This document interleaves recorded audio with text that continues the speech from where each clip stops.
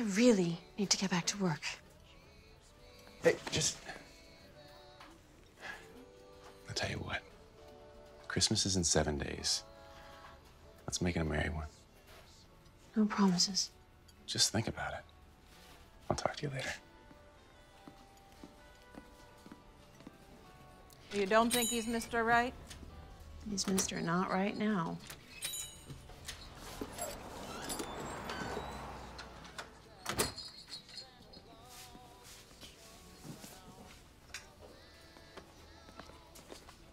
Oh, I'm sorry. Didn't mean It's okay. It's you. Me? I'm, I'm sorry, have we met? Over at the garage. You were across the road. That was you. I will just take a seat and someone will be right with you. Thank you. Emma, number three's ready for their order. I'm on it.